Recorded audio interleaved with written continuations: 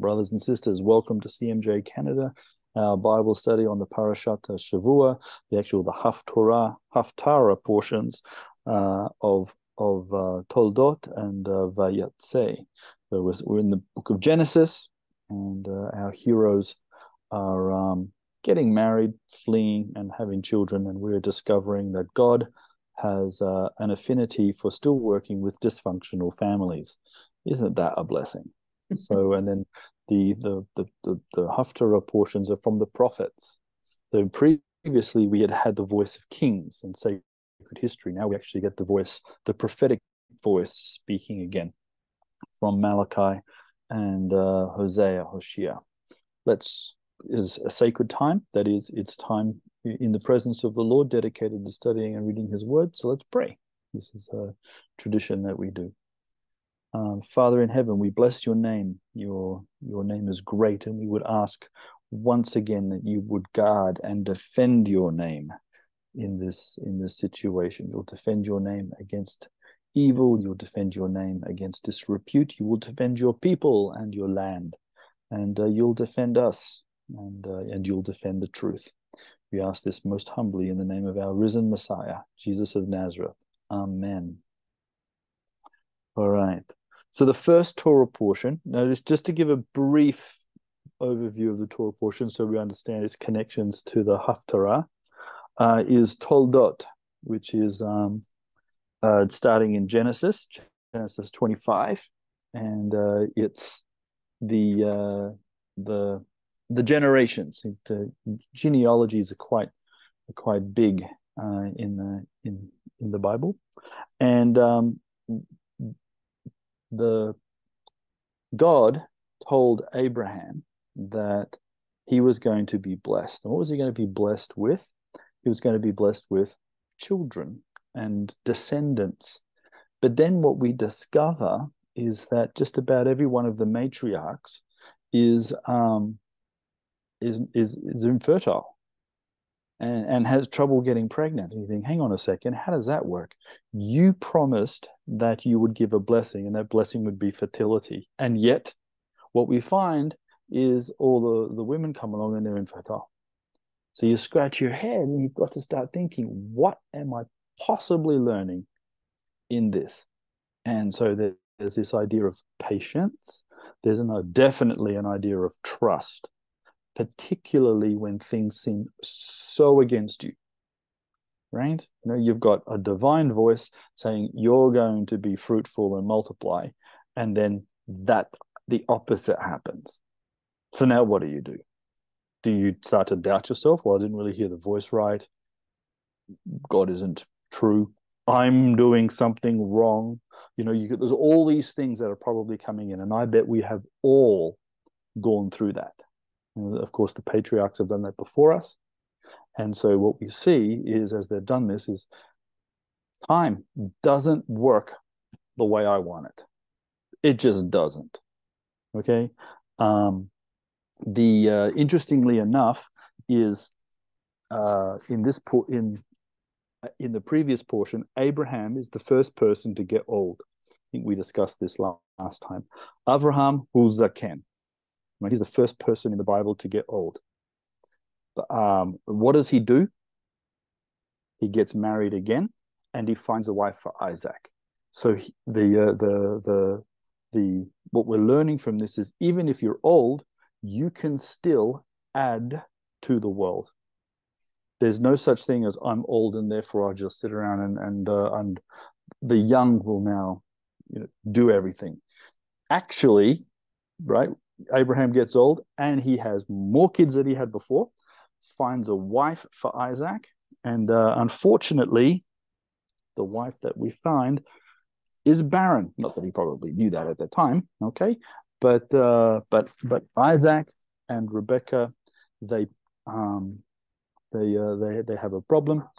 Uh, they're 40 years old when they get married, but there's going to be 60 when they have their first kid. So for 20 years, 20 years, um, Isaac is unable uh, to give Rebecca children.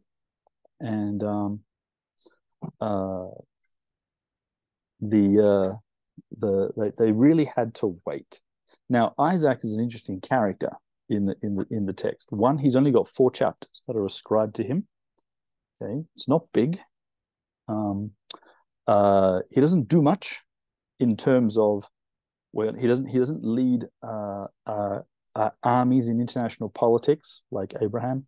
Um, he doesn't have a plethora of kids like Jacob. Um, you know, he doesn't, doesn't really do a heck of a lot per se. Okay.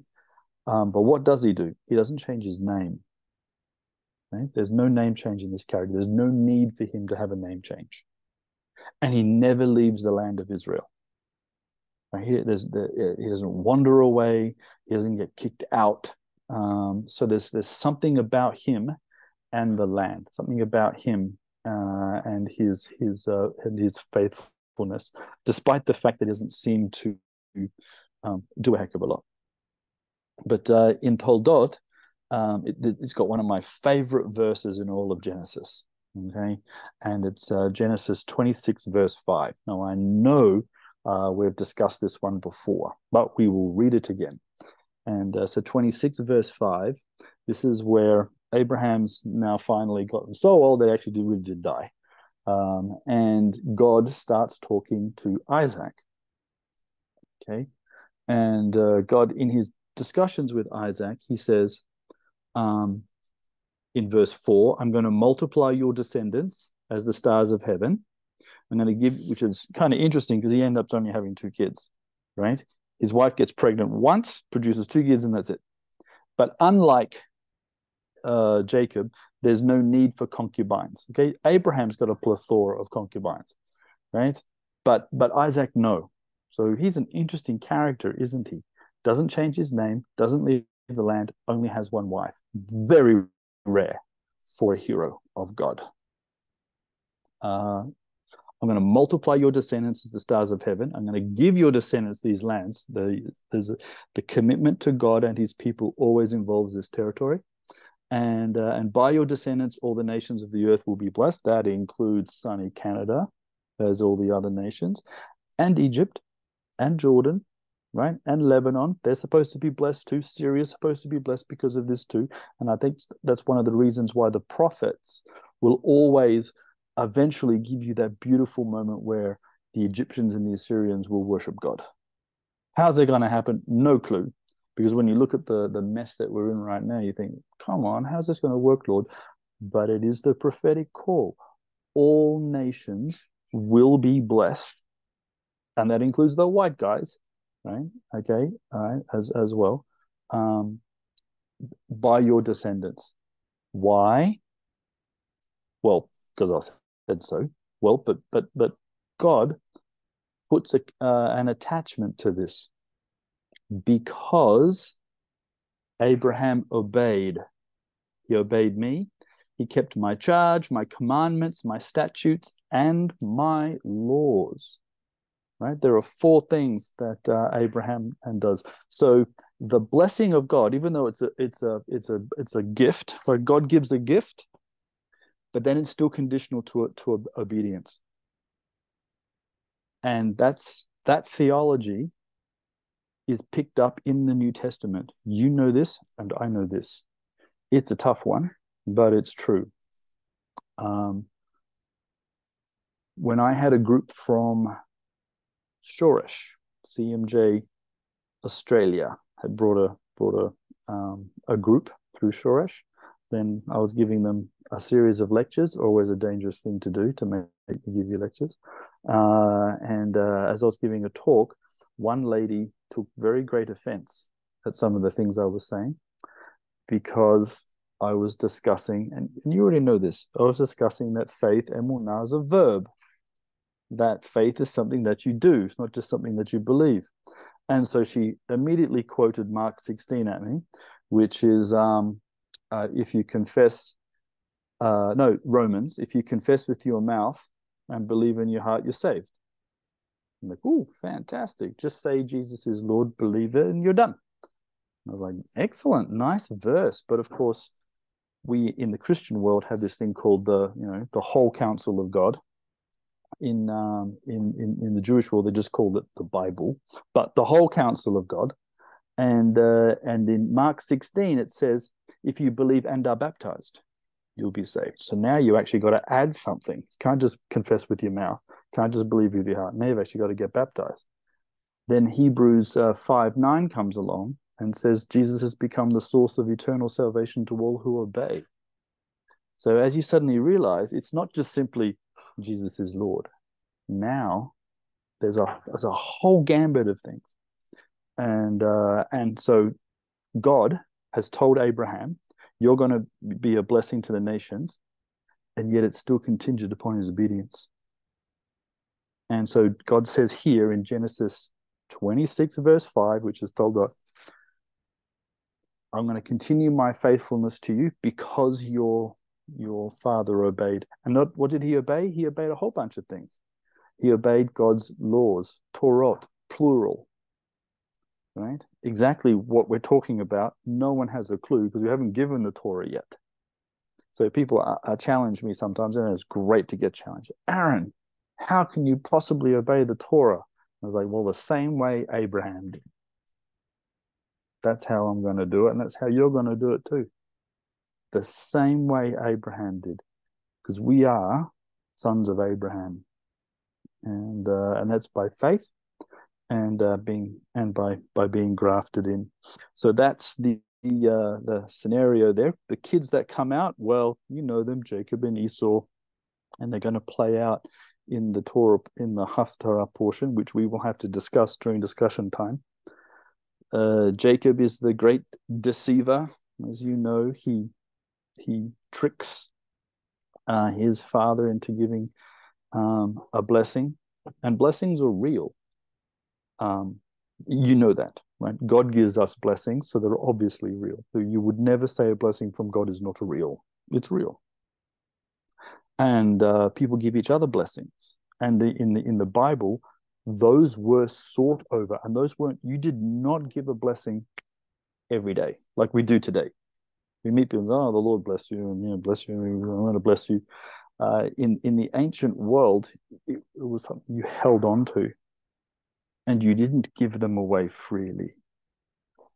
And so, um, the the the the father was to give a blessing on his deathbed or towards the end of his life, and that had real value and real impact in the world and in the future. And then one of the other strange things that humans can do is we can bless God, which you see Jewish people doing all the time. They turn every common moment and turn around and bless the Lord for it. They turn something common, make it into do something sacred.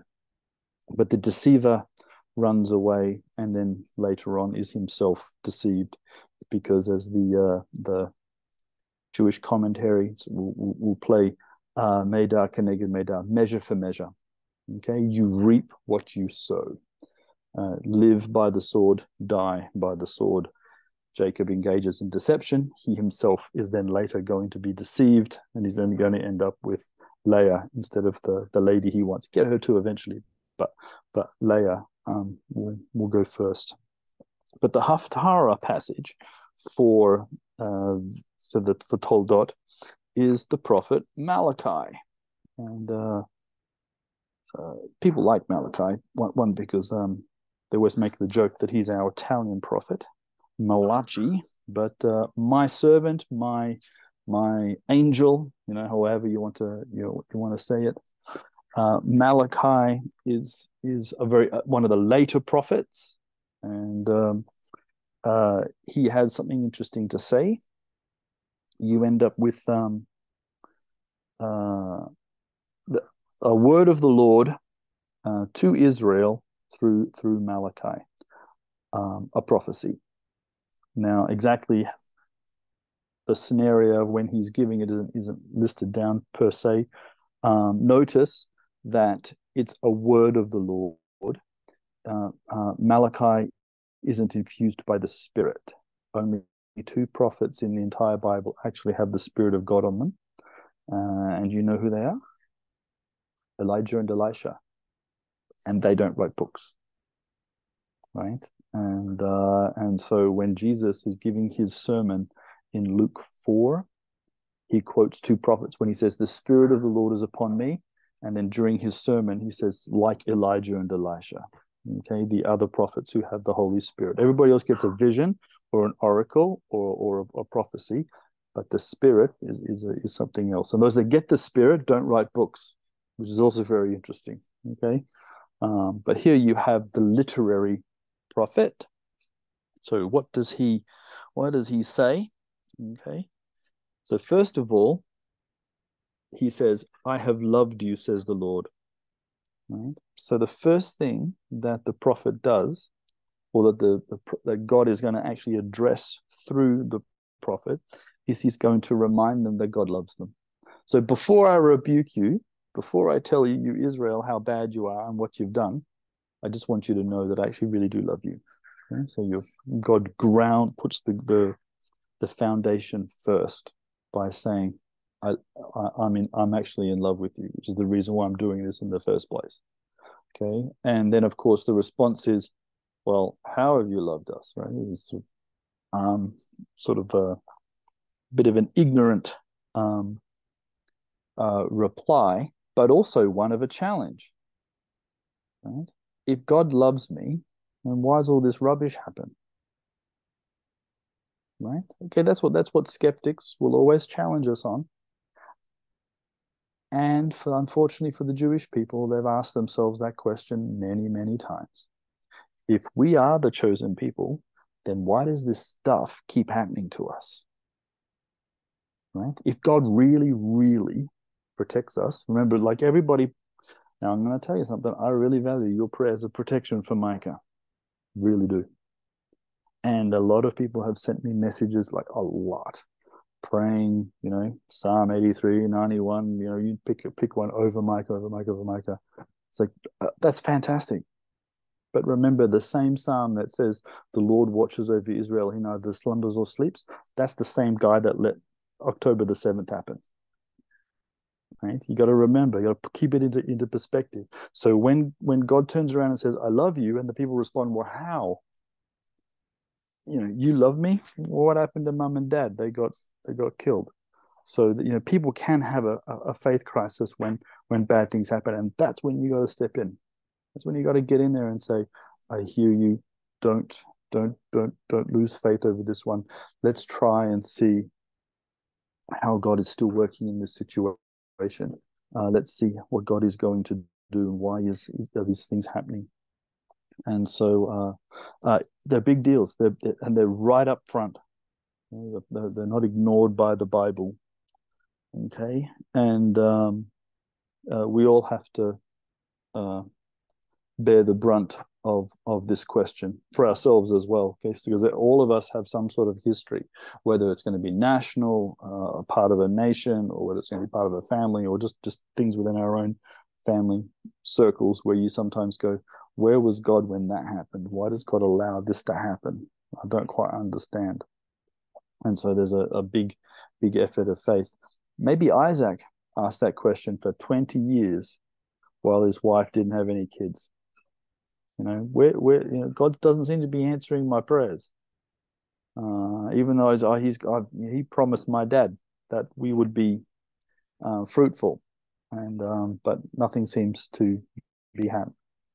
So, uh, so it's it's not always easy. So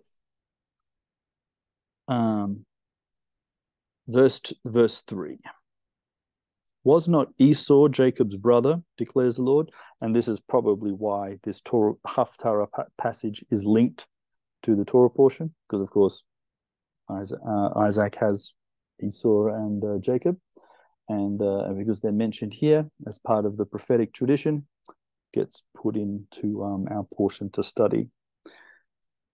Um, was not Esau Jacob's brother, declares the Lord? Yet I have loved Jacob, but Esau I have hated, and have turned his hill country into a wasteland, and left his inheritance to the desert jackals. Like, oof, that's a tough one. Uh, so we may as well deal with it. And I'm looking forward to hearing some of your comments. Now, Um, the protagonists are Jacob and Esau as, as characters uh, that the prophet is using to describe um, Israel's plight, and um, and uh, God has made a choice between two brothers, and that's not always an easy thing for us to to wrestle with. Okay, and uh, so we have a choice between these two brothers. It's always easy to to wrestle with or fathom. Some commentaries will say, Jacob I loved and Esau I loved less. Right? You know, try and say it in a nice way. I still loved Esau, but just not as much. Okay. Um, uh, or uh, I know that some of the people here will will, try, will say, you know, try and, and use it in terms of like a preferredness uh, Jacob I preferred, and Esau I, I didn't prefer, um, and all kinds of things. How uh, uh, and that, that's nice. However, the literal Hebrew is I hated. Okay, that's just it. Okay, There's, you can't. You can say whatever you like, but the the word is Esav Shaneti. Esau I hated.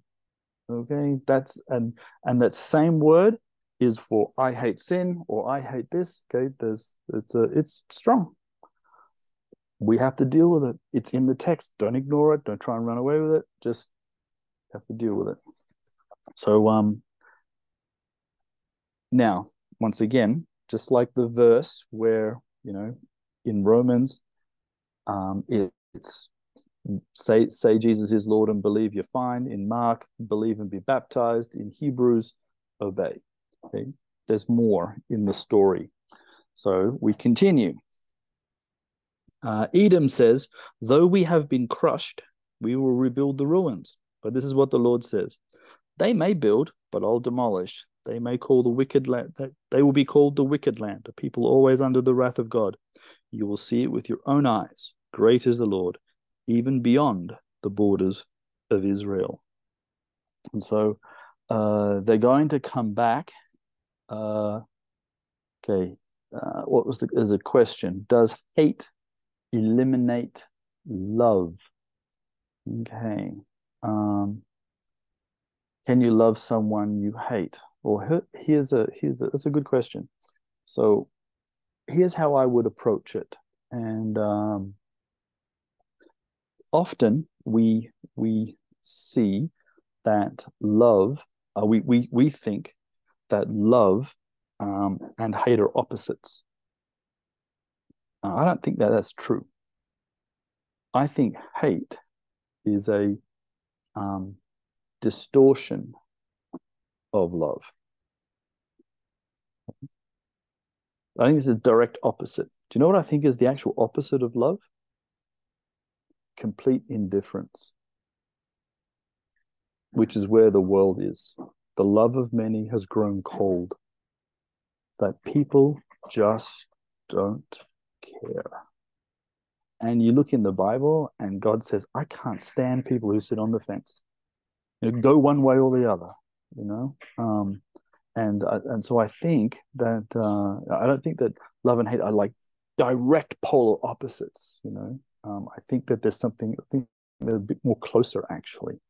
Um, um, that doesn't mean that, that that's good, um, but but I think that the real true true opposite of love is just indifference. People just don't care anymore, and um, and uh, and and that's the way the world is going. I think what you're seeing is people, you know, they'll they'll film things go wrong and post it on YouTube, but they won't bother to go help. And uh, you know, and and and people will get angry and they'll do a few clicks on social media and then never leave their house to do anything. Just complete bystander indifference now where we're up to and we're allowing evil people to have the rule of the roost. I think that's um, pretty bad. All right, but uh, what what the prophet does here in his um, in his opening chapter uh, is set out that there is a choice.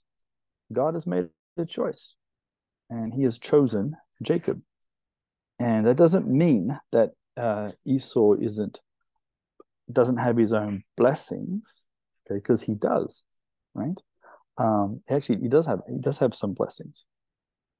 Um, the the prophet actually now turns around and has a go internally at uh, the children of Israel's priestly system, basically bad shepherds, okay, which is uh, one of the big problems that you have in uh, the Church Universal. That you pick a denomination, we've got problems, and also um, uh, non-churchy priests, the, the the leadership of our day.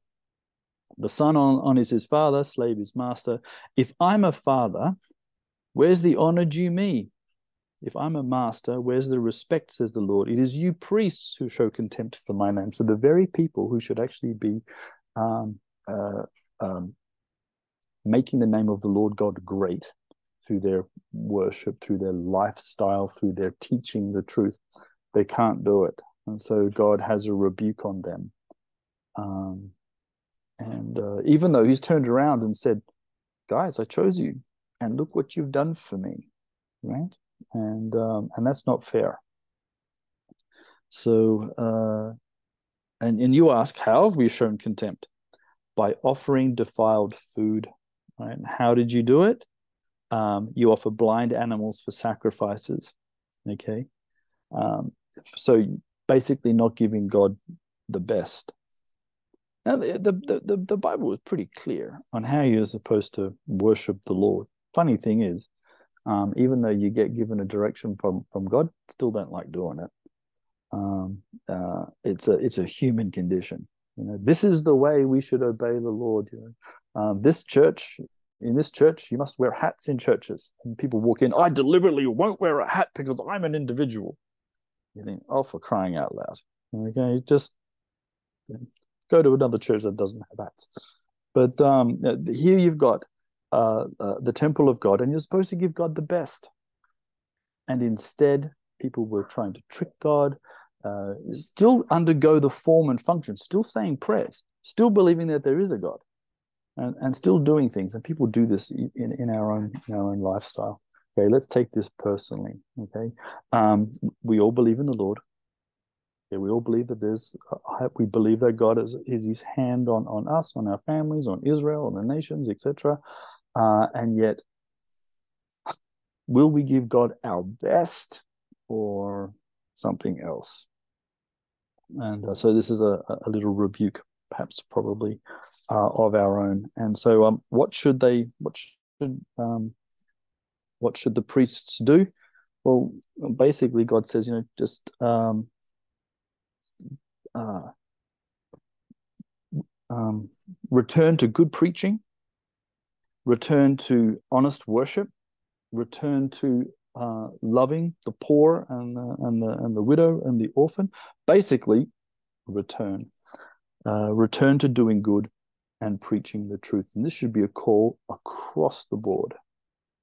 You know, what should we want our pastors to do? Just simply start preaching the truth. And uh, that and, and how hard can that be? Well, apparently it's pretty hard because you know they continually fail at this.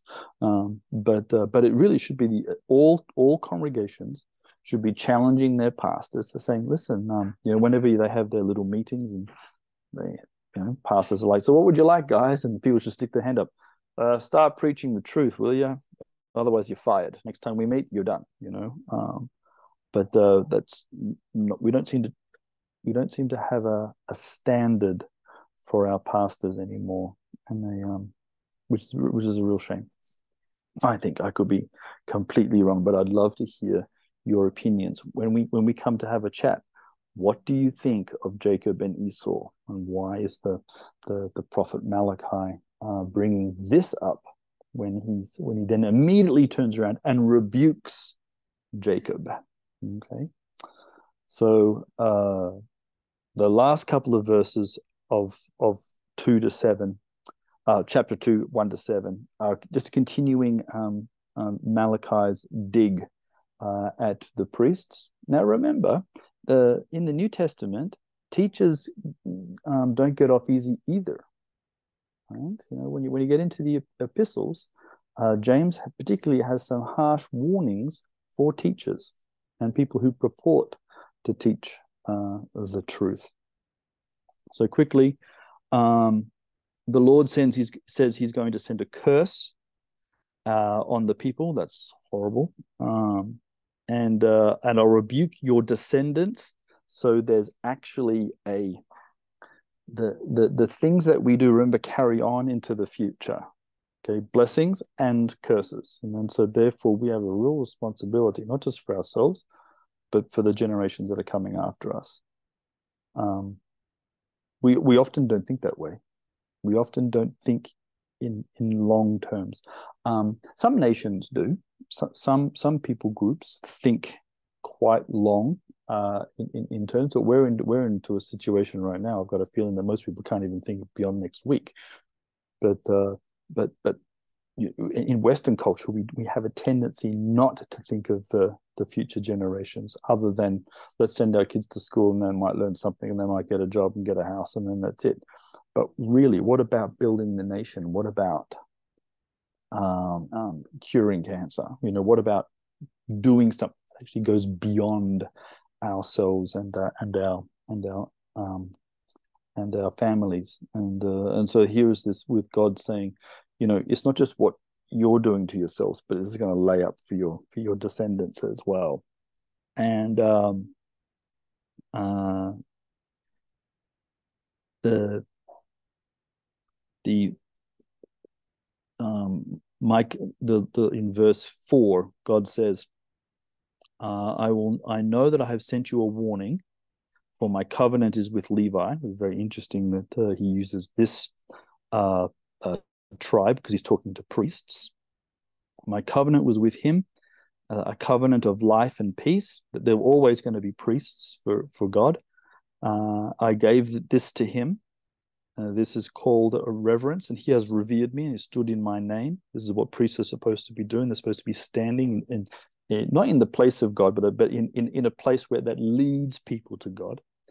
True instruction was on his mouth, right? Nothing false was found on his lips. Okay, and that's what God wants from his from his clergy, or, all the people. That includes us, by the way. If we're going to be a kingdom of priests, you can apply that to yourself as well. But for our shepherds, at least, so that's uh that's the um the the the prophetic portion which takes uh, a look at Jacob and Esau um, from the from the Torah port from the from the Torah portion, and then immediately has um, a rebuke of our clergy. And um, well, let's be honest, that would be very true of today as well the uh, the next portion, they get. So Jacob leaves, and uh, the Torah portion starts. Um, say Yaakov meBeersheva vayelech harama. So Jacob goes out from Beersheba. And uh, what does he go out from would be a classic Jewish question. And rabbis can spend hours trying to come up with what does he go out from. He can't just simply go out from Beersheba. And he's got to, what is he leaving? Is he leaving a place of security? Is he leaving um, peace? Is he leaving his he's leaving his family home? Is he is he abandoning uh, tradition? They they think long and deep about what is he leaving and uh, he heads towards Haran. Uh, Haran, and uh, in English, the next verse says he came to a certain place, and he spent the night there, because the sun had set. And he took one of the stones of the place, put it under his head. He lay down. So here's what it says in the Hebrew: Vayifga b'makom, which means and the place struck him it means he was hit by the place. Okay, what a, what an interesting thing to say, right?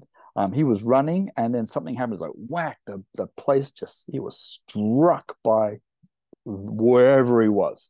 Yeah, he stopped, fell over, did something happen, and um, and uh, well, then what he does is in the place he decides to rest. When he decides to sit in that place, and um, and he dreams, and there, there was a, a ladder. But before he does it, it says, Vayikach me'evnei hamakom, and he took the stones of the place.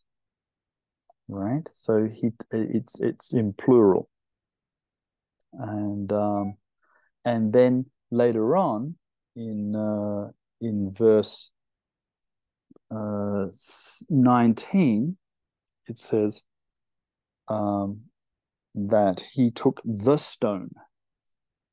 So in verse 18 sorry so jacob jacob rose early and he took the stone that was his pillar. So lots of stones have become one stone and uh, which is a very interesting little thing and they have a little interesting midrash where um, jacob um, uh, comes to this place which today is called beit el and beit el is situated on the other side of the Mount of Olives, uh, not too far from Jerusalem, where um, and you can go and visit there. There's actually a, a um, very nice kibbutz there. That's a, a religious kibbutz, uh, and it has a. Uh, we've we've prayed there. Uh, melody. We did the north, south, east, west of a great tower, and um, there's this field where um, uh, Jeroboam built a temple and uh, and uh, and a palace, and he had an altar to a, a pagan, to his idol. But um, the there's a midrash that says that uh, Jacob found the place or was struck by the place. Something happened that caused him to stay there, and when he was deciding to sleep, all the stones started shouting, Pick me, pick me, pick me. You need to pick me because I'm just a great stone for you to rest your head on. And uh, um, essentially, heaven came down and went, What is this noise? Okay, shut up. And got all the stones together and melded them together into one stone. Okay, and uh, so when you go, when you actually go to Beit El, you actually see this flat stone that looks like it's had some sort of heat thing happen to it, probably some geological event that make this that's melded all the stones together. Um, so it's an interesting little midrash which is played up in a piece of archaeology when you go and have a look. Now, whether that's the stone, and that's what they'll say when you go there, they'll say that's the stone that uh, the our patriarch uh, slept on. Good as place as any. Um, okay, I mean, everybody decided to build a church on this thing. There's a Crusader church. There's a, a, a, Mamluk um, uh, mosque there. There's um, Israelite stuff, and there's a, a thousand year old oak tree. Why not? Need one of those um, in the area? But this is where apparently um, Jacob has his dream, and he sees the ladder, and there are this again just comes into uh, Jewish tradition where there's parts of heaven and earth that are really really close, and uh, and and parts of the planet where it's they're, they're really close, and they're so close that you can that you can move from one side to the other, and so Jacob sees the dream and he sees the ladder and the angels are going up and down. Of course, we've done the question before. If angels are ascending and descending, where do they start from? They don't start from heaven, they start from earth. They're, they're doing a job on the planet. Uh, and uh, and he realizes that he's in a very special special place. So he names the place Beit El. Of course, there is also a Jewish tradition that says that has to have been the Temple Mountain. There's no way that that could be somewhere else. So there's there is there are there are streams within Jewish exegesis. Some put it at a place called Beit El, and some put it on top of um, the Temple Mountain, of the house of God. So it take your pick. Doesn't actually really really matter. Um, then when you get to to Haran, Jacob, the great deceiver, is himself deceived, and he unfortunately um, uh, gets tricked into marrying Leah. There is a different midrashim as to how that happens um, and who allows it. And uh, the uh, one tradition is Rachel does it. Is uh, Rachel herself knows that she's being tricked and refuses to talk. So she could have spilt the beans, but she decides, no, I'm going to let God have control, and uh, you know she submits to the will of God, and and then sees her sister marry the beloved instead. Um, that's very nice of her. Um, people in Jewish tradition and and in many Christian exegetical traditions too, we've got a real fondness for Rachel.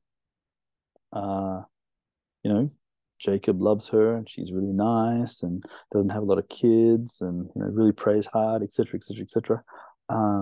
But we often miss a couple of things. So one, it's Leah who actually produces Judah, who actually produces the house of King David, who actually produces the Messiah.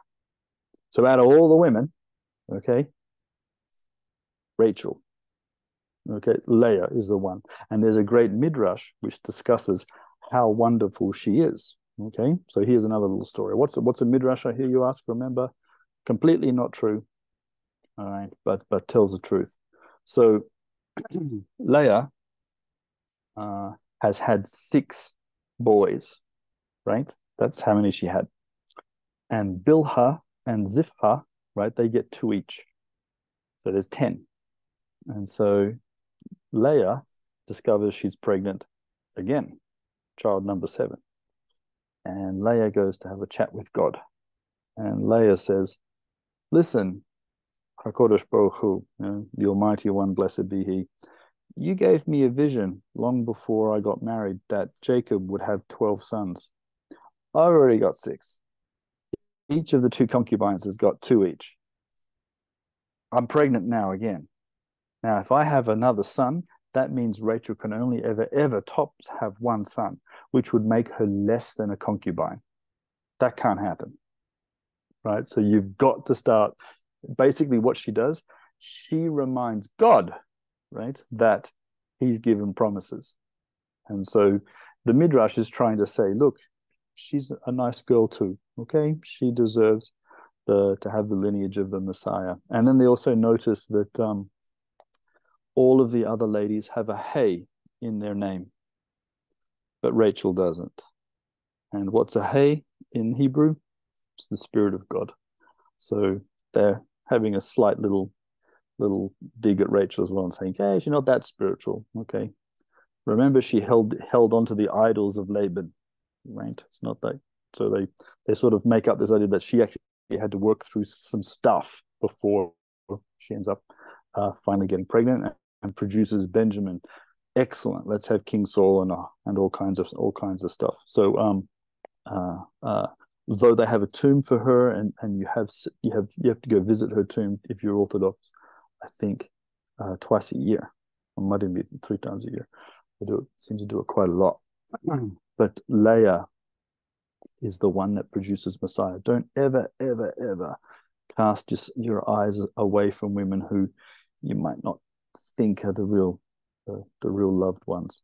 God God really does care for them very much. So the, the Haftarah portion for uh, for Vayetze is Hosea.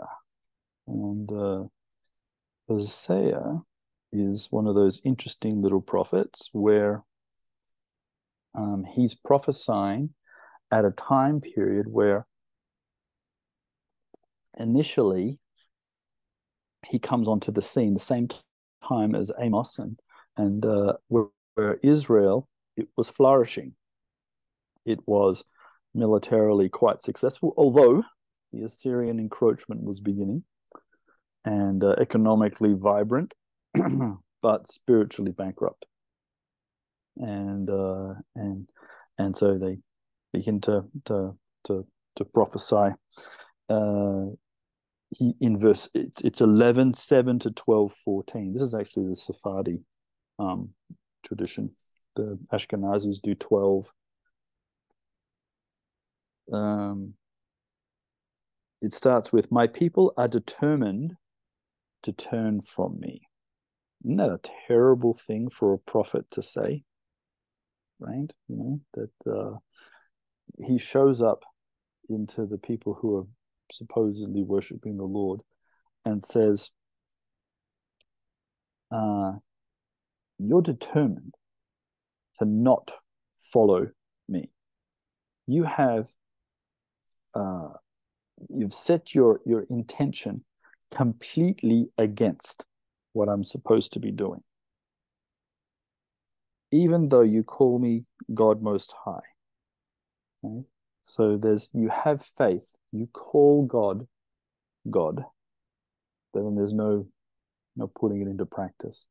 So on your lips, you're saying the truth, but in your practice and inside your heart, you're going in opposite directions. And uh, how can I give up on you, Ephraim? That's an interesting thing for, for God to say. How can I hand you over Israel? Ephraim and Israel now become paired. Out of all the tribes, Ephraim is the one that uh, God starts to use through the prophets. Now, wonder why he would do that. Let's also talk about that uh, when we have our discussion. Why is Ephraim the stick? Two two sticks, right? Ephraim and Judah. Why why is that? What what what is it? Um, I, in terms of what the hill territory of Ephraim um, today is in what we would they call the West Bank. Uh, it's got uh, one of my favorite places to take people whenever you come here. Shiloh, right? Shiloh is in Ephraim. And uh, what is Shiloh? That's the place where God lived for 369 years. God lived in Ephraim and God lived in Judah. I have a tend- I have a suspicion that that might be the reason why those those places get get marked out as something something special. There were it was also a capital a regional capital and um, it was one of the last tribes to withstand the, the assyrian invasion. Okay so it could have something just straight down the line politically archaeologically relevant. But in terms of like spirituality um, i have a suspicion this is personally that it's because of uh because of uh, shiloh or shiloh. Uh so can i give up on you well, that's a good question. Can God do that? Is it possible? We'll think about that one. Okay, that's a that's a really good question for the prophet to actually ask, for God Himself to ask. Is it possible for me to to change my mind? Is it possible for me to break my promises? Is it possible for me to relent? Where where where do we go with that? That's a good question for our prophet. Okay. How do I want to treat you like Admah or Zeboim? Now these were these were villages that were close to Sodom and Gomorrah. So this is uh this is you know God is saying, can I treat you the way I treated Sodom and Gomorrah? Really? Can I totally destroy them like I did in the day, in, in Abraham's day? Uh, my heart is changed within me. Oh, what does that mean? First of all, God has a heart. That's always nice. Okay. Uh, remember, he's also got a soul, and uh, but where's he doing his thinking? In Jewish tradition, you don't think in your head; you think in your heart. Like, where's my thinking? Can I think differently uh, about you? I will not carry out my fierce anger. Right? God. So, so the the the the warning and the prophecy is, I'm going to destroy you because you're so bad. And then God's having an internal discussion with himself can I actually do that? Can I actually carry through what I'm saying? Uh, what an interesting thing for the prophet to, to, to, to declare, for God to reveal within, within his prophet. I will not carry out my fierce anger. I will not destroy Ephraim, for I am God and I am not a man. Right? I am the holy, the holy one among you. Will not come against their cities, even though they deserve it. Right? I'll praise the Lord that He would have the, the same mercy on us. Okay. Uh, they will follow the Lord. He will roar like a lion. And when he roars, the children will tremble before him. And uh, they will come from Egypt, trembling like sparrows, from Assyria, fluttering like doves. So you're getting this, this, um, it's actually quite, it's quite, it, it's a little bit of prophecy that there, there, there is this, an, an idea of a return uh, uh, from dispersion um, already. It's, it's subtle, but uh, but it's there. Ephraim has surrounded me with lies. Israel with deceit. So the prophet goes back into um, his condemnation of Israel. Have you noticed that the prophetic voice is usually quite um, self-critical? Okay, um, you know, people go. The, the the the the prophets really do rage against uh, themselves. Uh, uh, and Judah is unruly against God um, even against the faithful Holy One. So Judah's not perfect either. Ephraim feeds on the wind and pursues the east wind all day. The uh, the the imagery there is quite uh, quite clear. What um the, the uh, what do people long for and look for? Nothing. They're chasing something that's empty. It produces absolutely nothing. Um, and that's exactly what our culture is is enticing us to do. It's um, you know, um, we're, we're in our consumerism, we're told to buy and buy and have Black Friday and Cyber Monday and Taco Tuesday and you name a day, you got some special sale. But it and, and we're told to go and get it. Uh, but it, at the end of the day, it all that ever does is well, one, it loads up your credit card, uh, but you're still not happy because there'll be another sale that you need to get, and there's there never seems to be an end. And um, and that's what they're doing. They're trying to feed on on and pursue this this uh, system, the wind, and there's nothing there. The the the world system is a essentially a lie. We we claim justice but n- never get it. You know, we we claim equality and never achieve it. We we want um, uh, to celebrate unity, but all we ever do is disunite uh, our, ourselves. And um, what else do they do? Uh, they pursue the wind. They multiply their lies and violence. Okay, they make treaties with Assyria and Egypt, their enemies. Okay, that's uh, one thing that the world does is they make um, treaties with uh, with enemies. Of course, what are we we're doing? We you cannot make a treaty with Hamas. Okay, it's just not possible. And how's that going to play out in the next couple of months here? We shall shall see. But uh, the Lord has a charge to bring against Judah. He'll punish Jacob uh, and repay him according to his deeds. What an interesting thing to say. So, what did uh, happen to Jacob? He was deceived. Midah keneged Midah. And so, um, Israel, all of us, reap what we sow.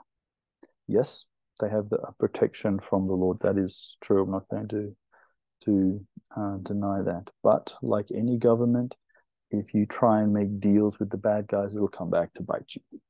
Okay, and uh, so Israel is this is now modern day Israel does need to be to be careful who they um try and uh, ally with because it be repaid according to your deeds. Okay, and it, when you get to Revelation, what uh, when God opens the books in heaven, what does He uh, judge us on? What you've done. Okay, that does have relevance. Does have relevance. Okay, the things that we do on the planet do last. They last for things here, and they last for generations. He struggled with an angel, right? Which is a, a reference to our Torah portion where God uh, uh, struggled with, with with Jacob. And I carry around with me a little black folder, but inside my little black folder, uh, I have a picture which uh,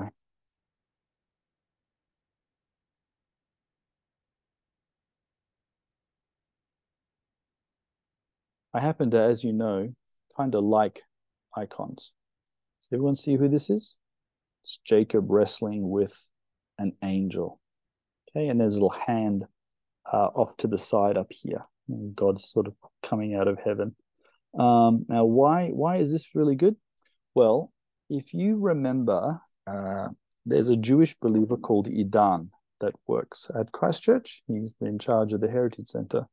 So he gave a lecture, and uh, actually, uh, we, we we did it together. We did a tour together. Idan and I. Um, we took a group of Israelis uh, and around uh, around the old city, looking at Protestant buildings. But instead of talking about Protestant buildings, the subject was the faith of Protestants. Okay? Why do Protestants do what they do? Not what did they do? They built hospitals, they built schools, but why did they do it? Right? And um, and at the beginning of the lecture, Idan pulled this picture up, and he said, "This is actually, this is Protestantism in a nutshell." Right? Jacob wrestling with God. Why?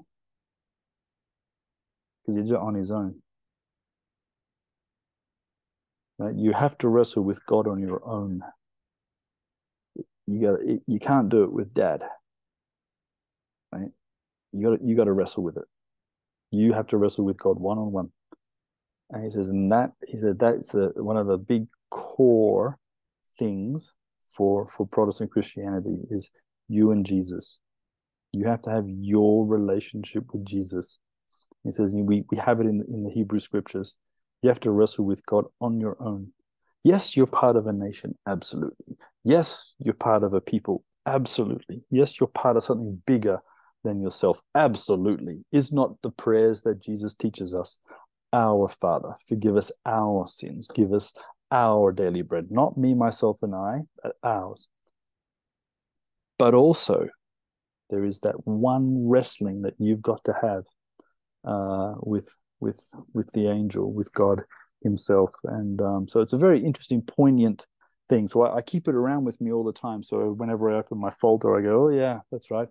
But I make sure that I'm wrestling with God properly. And how's my hip? But uh, the um, I think that's a very interesting thing that the the um, again, it's one little verse that the that the that the uh, rabbis so then use that and connect that to the Torah portion. And what's the what's the prophetic voice constantly telling them? Get yourselves fixed up. Right? You know, our priests aren't very good. They're teaching us poorly. We've got a faith where we say we believe in God, but we don't practice what we really should. Judgment is coming. Let's repent. So there's this uh, constant call uh, this is seen in in um, still practiced in older traditions. Um, there are those that uh, will come to the older churches and go, "Why do these guys keep constantly confessing? My goodness, why are they always repenting?" Because uh, that's actually the voice of the prophets. Um, the, that's the the prophetic voice is, "Get yourself right with with the Lord, and uh, and return to the Lord." and maintain love and justice. That's that's the uh, the way this this portion uh, begins to finish off. It says, "Return to the Lord." So return, shuv, teshuvah, repent. How? By maintaining love and justice. Okay, and so um, part of the the prophetic call for us all is to turn around and, um, as part of our repentance, um, enjoy love and justice. Now, what is justice? Right? Like modern day justice, well, they're so confused with what real justice is. Um, and uh, uh, but we can talk about that one as well. And in fact, why don't we start to do that? A couple of things we should should should should should discuss.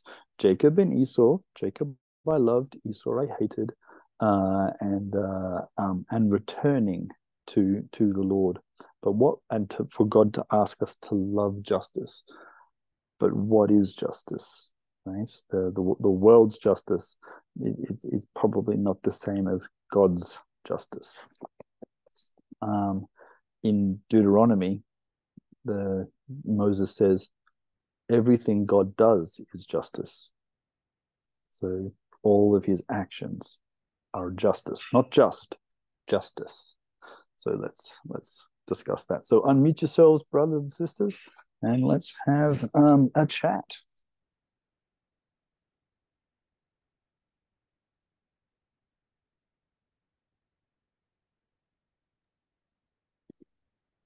Well, I was thinking about um, Esau, have I, no, Jacob have I loved and Esau have I hated.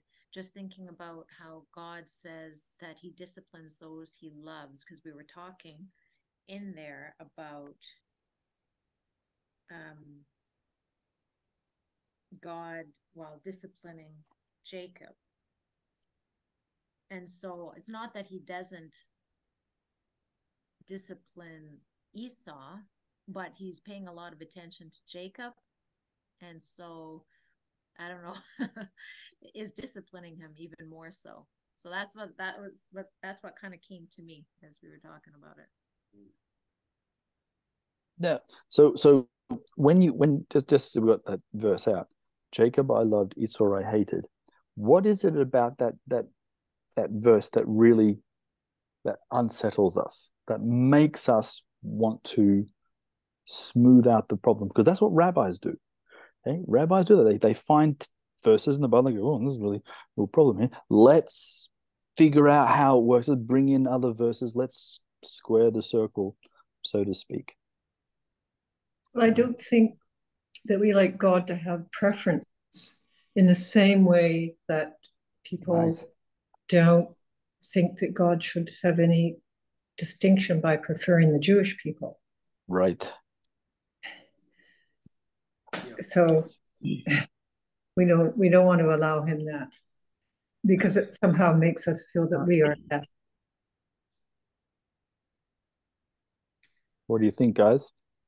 Yeah, I kind of agree with that. I was thinking, uh, you, you know, it goes down through our own lens of abandonment issues. You know, because if we if that is true, then it's possible that God will abandon me. So there's an element of fear. Element fear of fear in there. Okay. Nice. Fear.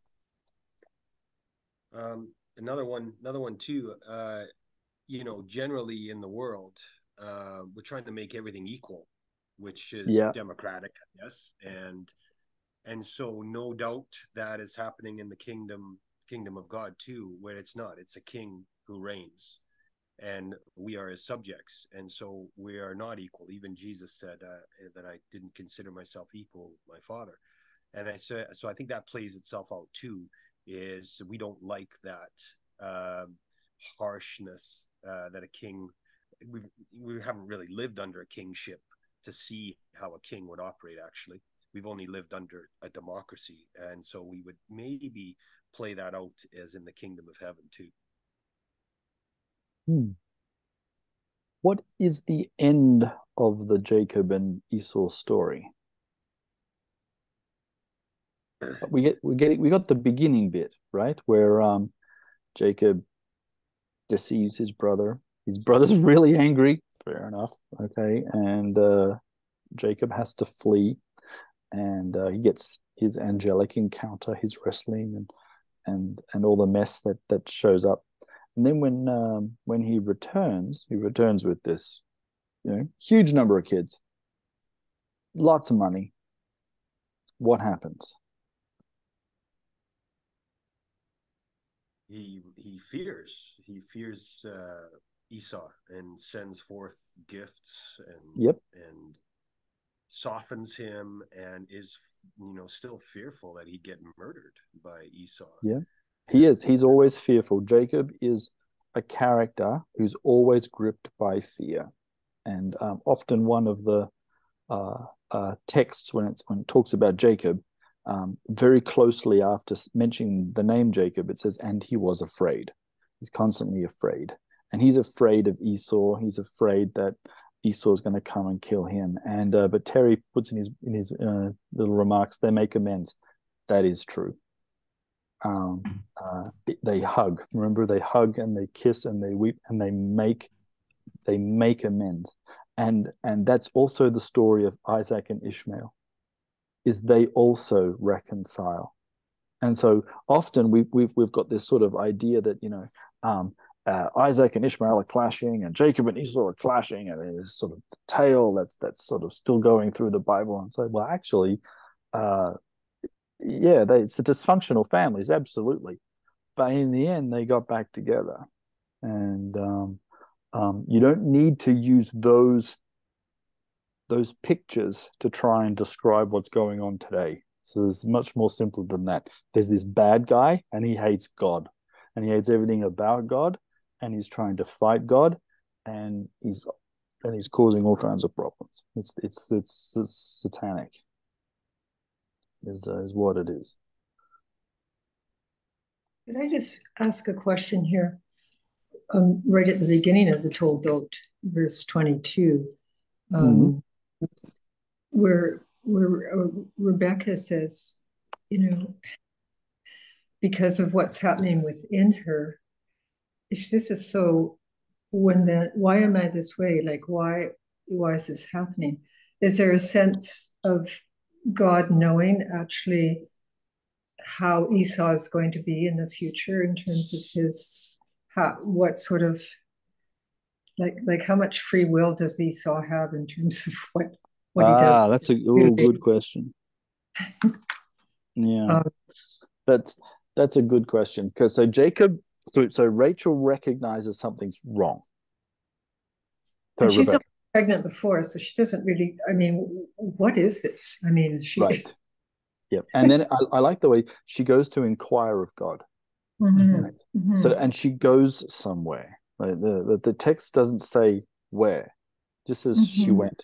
He she she she walked somewhere to inquire of the Lord. Did she inquire of the Lord through a priest? Like you know who who is this? Um, uh, it's a good question. I don't know. It's like um, hannah goes goes to inquire of the lord but but she physically has a nice place to go. She she go into the tabernacle and mm-hmm. and, uh, and, and inquire. But um so so she has a, definitely a sense of god now better than than any idols of laban. Um and uh, but she gets and god talks to her. Mm-hmm right? So you end up with this, this which which hasn't happened before. Mm-hmm. And you know, you're getting you're getting this, uh, you know, these divine voices. You know, we often sometimes think, you know, God spoke to these people all the time, um, and that might have happened, but the text doesn't imply that. Right? Um, and uh, you know, if you if you asked me, um, uh, I felt something wrong, so I went and talked to God and he gave me an answer. Guess what I would do? Every two single time I had something wrong, I'd go talk to God. Right? you know, that actually was physically happening, it's like, oh my word, this is brilliant. I'm going to go talk to the divine one. You know, you going to talk to your husband? Absolutely not. What does he know? I'm going to go talk to God. Right? Um, so uh, there, there's something very special going on. She knows something's not quite right and she has to approach God, which is not something she would normally do. In, she might love the Lord, she might worship the Lord, she might accompany her husband to worship the Lord, etc., etc. Even though they still haven't had the Torah yet, so there's no um, set process for how you do this or where you do this. Um, but uh, but there you go. She makes this inquiry, and she is rewarded with an answer and uh, and uh, but the answer is so strange, isn't it? The the the uh, the older one will serve the younger one, you know, which is everything's upside down. Mm-hmm. You know, straight away, like, what are you talking about? it's just just the way it's going to be. The one that comes out first won't be as as powerful as the other one. Mm-hmm.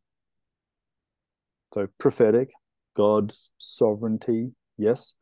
Um, you could, if you want to put your Calvin Calvinistic hat on, you know, go totally total predestination. No one's got any uh, say in the matter, which of course would then mean that you can't ascribe anybody blame, because that's the the slight small problem with hyper Calvinism is well then no one's really got a choice. If there's no free choice, you can't really assign blame to someone.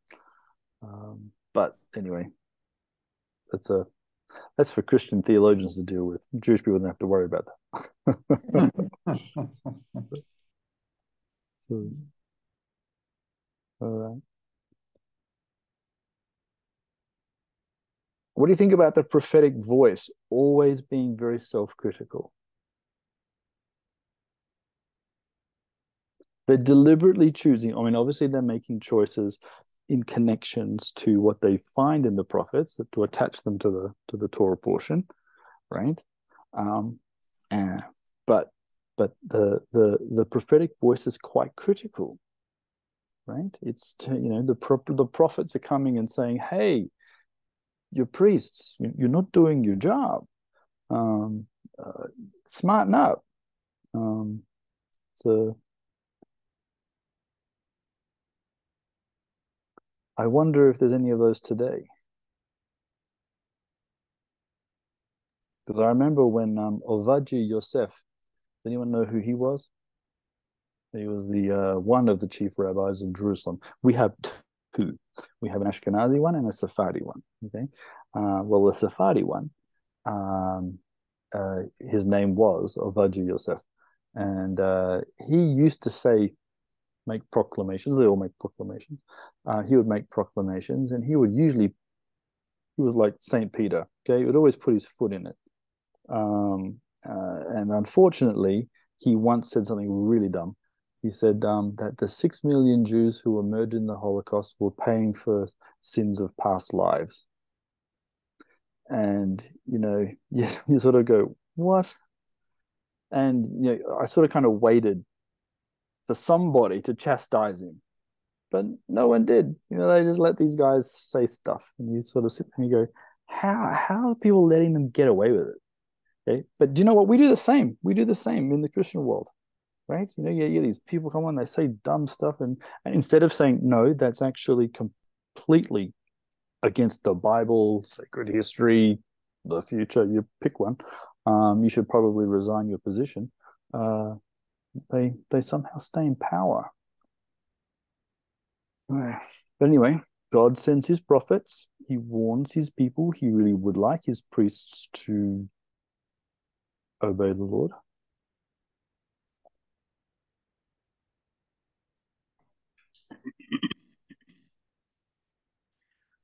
Any thoughts on Leah? Uh, it seems, you know, right away. Uh, well, I just want to uh talk a little bit about your question there that um, it's the prophets are always negative.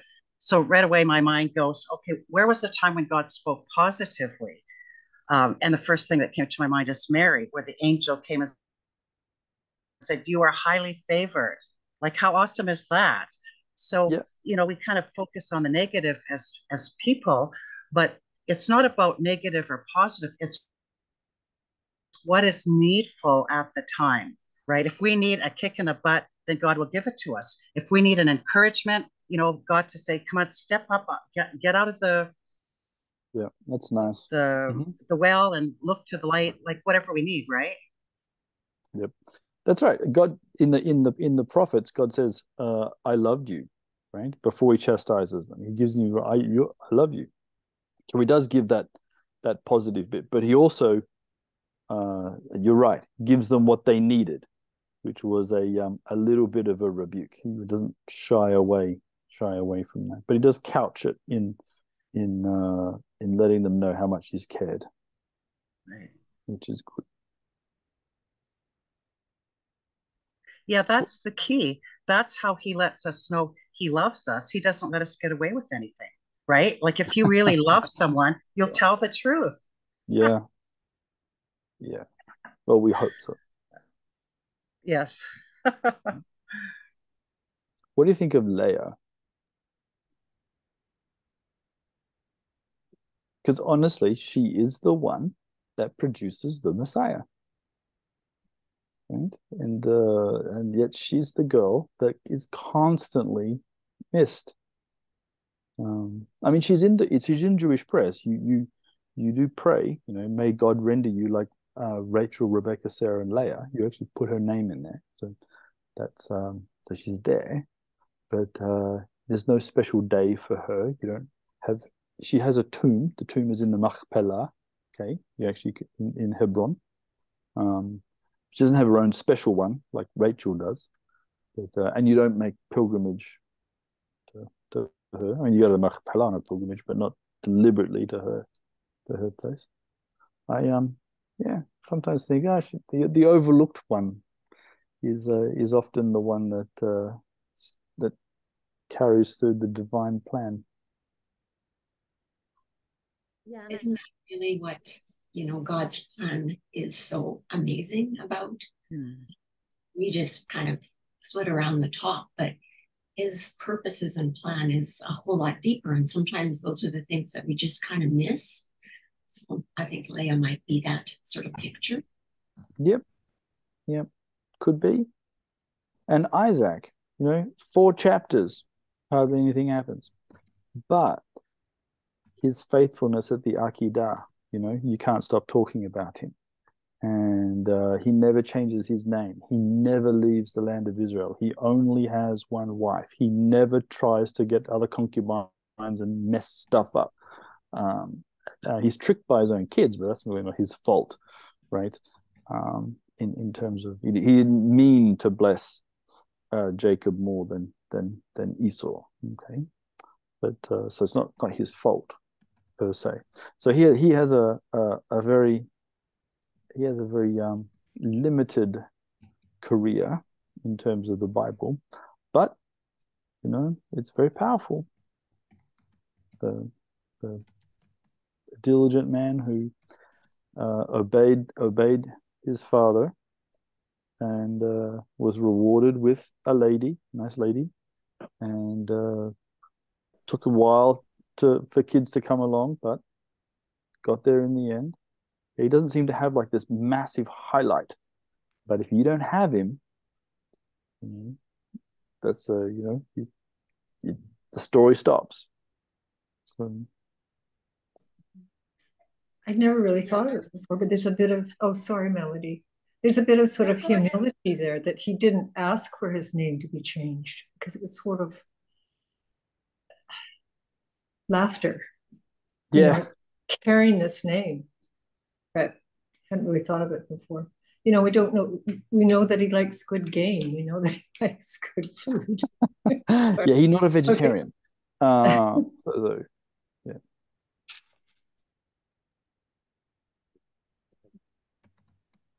Okay, so I just wanted to say about all the um, the matriarchs. Uh, just thinking of Sarai and uh, Rebecca and Rachel, how they all had to wait for their children, and just thinking of how they would have had this great longing and uh, love for their children um, that perhaps God needed that in them to to place uh, just that uniqueness and specialness for the children that they do have because they they aren't many you know? And i just think of that even with people in our day who have had trouble having children that they just not that we don't appreciate them you know when we you know when we have them when they, when they're younger but when you have to wait so long for a child that you've almost sorted out how you're going to raise that child by that time and you've matured a lot more and you know you can just uh, have a better chance at raising them well hmm.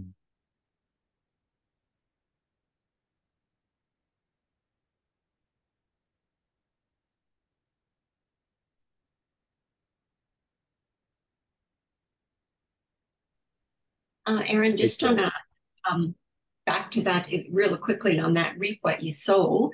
Um, when you were speaking about that, I was just wondering about this current situation and the timeline. In a sense, is um, is Israel careful of that sort of wisdom? Oh, that's a good question. So there's we're having a discussion, you know, at the moment because we have a ceasefire. Is this the right thing to do? Is it the wrong thing to do? Um, what do we do about hostages? Because we haven't found any um, prior to to to yesterday. Um, in what Damaris mentioned in the chat there is is quite interesting. Most of the people who were killed on October the seventh were all the peaceniks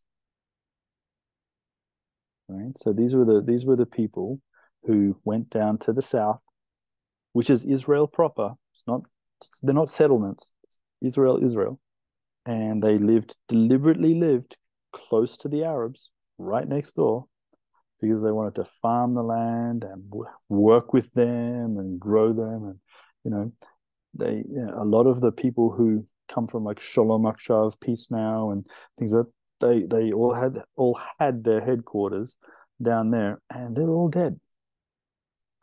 And all the serious Kitsuni guys, all the fundamentalists, all the hilltop warriors, they're living in the West Bank on top of hills, throwing rocks at Palestinians, being all kinds of nasty, and yet and they're the ones that didn't die. It's very interesting, you know, like what happened here.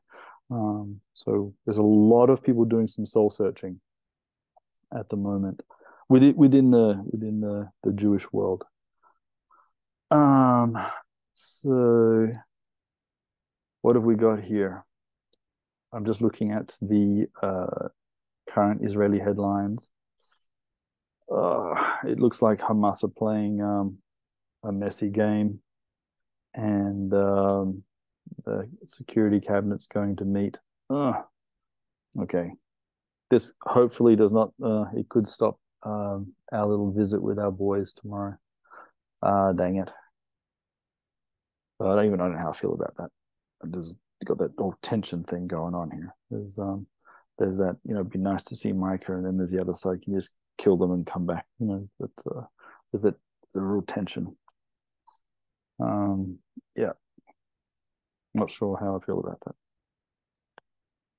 Sorry uh, to cause disturbing thoughts. I, I just remember that, you know, one of the best ways that I felt I would pray is just that the Israeli forces would find the hostages themselves, that they didn't have to be pushed to that particular yes. decision, which unfortunately, yeah.